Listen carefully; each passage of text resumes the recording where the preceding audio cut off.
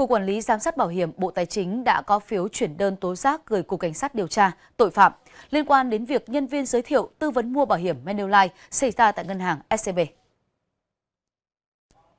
Cục Quản lý Giám sát Bảo hiểm Bộ Tài chính cho biết đã nhận được các đơn thư gửi đến tố giác việc đại lý bảo hiểm có hành vi lừa đảo, giả mạo để ký hợp đồng bảo hiểm và đề nghị cơ quan có thẩm quyền xác minh khởi tố hình sự để điều tra đưa ra truy tố, xét xử cá nhân tập thể lừa đảo, buộc Ngân hàng Sài Gòn SCB và công ty bảo hiểm Manulife Việt Nam giải quyết trả lại tiền cho người mua sản phẩm bảo hiểm.